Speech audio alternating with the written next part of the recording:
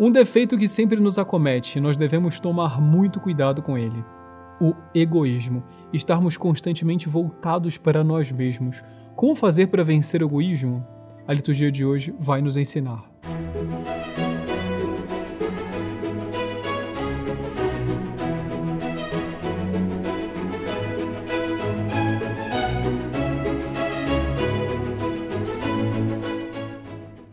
A liturgia de hoje narra a multiplicação dos pães, um dos grandes milagres operados por nosso Senhor Jesus Cristo. O texto que narra o milagre da multiplicação dos pães tem um detalhe que muitas vezes nos passa desapercebido e que traz uma lição muito importante para nós. Narra aqui o Evangelho que os apóstolos se aproximam de nosso Senhor Jesus Cristo, mais especificamente André e Simão, e dizem para nosso Senhor: Está aqui um menino com cinco pães de cevada e dois peixes mas o que é isso para tanta gente? E nosso Senhor Jesus Cristo faz as pessoas se sentarem depois de escutar essa frase e opera com isso a multiplicação.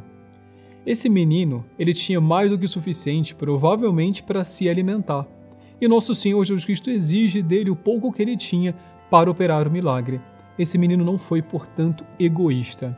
Às vezes, nós nos deixamos levar por certo egoísmo porque estamos excessivamente preocupados em manter o nosso pouco. Não podemos, é preciso deixar de se preocupar um pouco consigo e preocupar-se com os demais, sobretudo preocupar-se em fazer a vontade de Deus.